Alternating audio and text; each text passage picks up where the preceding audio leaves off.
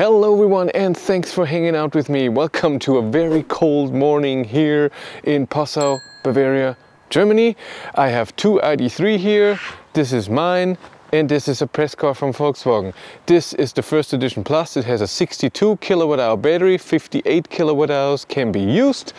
And this is a pure, it has a 55 kilowatt hour battery and 45 kilowatt hours can be used.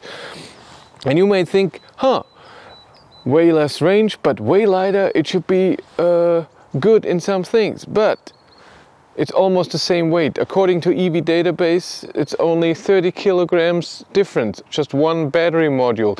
Because again, seven kilowatt hours less battery, gross capacity, but more than 13 kilowatt hours less usable for driving. Hmm. We're gonna drive in a minute, but first I wanna go through a few differences that the cars have. First, and, and, and, important in this case is that this car was built a year ago and this not too long ago. So I would say one or two months ago and this last year in I don't know, June, maybe even earlier. so to see if there has been a lot of changes, and there has been a lot of changes. And important is, I don't know about those changes, if this is uh, something that Volkswagen, you know, improved or if my car is a freak or this car is a freak.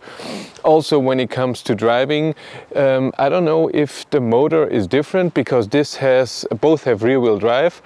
This has 204 horsepower, this is 150 horsepower. It's the performance model, both. So you can even get the 110 horsepower, I think. Um, so I don't know if this is a different motor or just software restricted. So when it comes to, to differences when we drive. Of course, with a different battery, you get different range. 420 kilometers WLTP range, 330 kilometers WLTP range. And of course, different charging. AC this car charges with 11 kilowatt, this with 7 kilowatt. And DC, this car charges with 100 kilowatt. And surprise, this car I've seen 115, I think it can charge with 120 kilowatt because this is a newer car uh, that already uh, has an update on there so it can charge with 120 kilowatt. The old ID3s, even with the middle battery, will get 120 kilowatt also, but I don't know when yet and how. One thing I noticed right away in the new Pure is that the seat heater is warmer, it feels warmer and what it does that my car doesn't do, like in Mercedes, it, it has it, it uh, goes on full power when you set it to, to the 3, level 3. After 10-15 minutes it goes down one level automatically and my car doesn't do that. So let's drive the ID3 Pure a bit and I talk to you how it feels like and then I compare it to my ID3 with the bigger battery. Since it's only 30 kilograms less, I don't feel any difference when it comes to cornering, suspension, um, stuff like this. It's really as comfortable and amazing as my ID3. I love it. The same as the steering, it feels exactly the same. The same. Um, you don't need a lot of power to steer and it uh, adjusts to your speed that you're doing and it does that really well. It's very stable. I don't feel any difference than to my car when it comes to handling. Acceleration is a different thing. this car has 50 horsepower less and you feel it.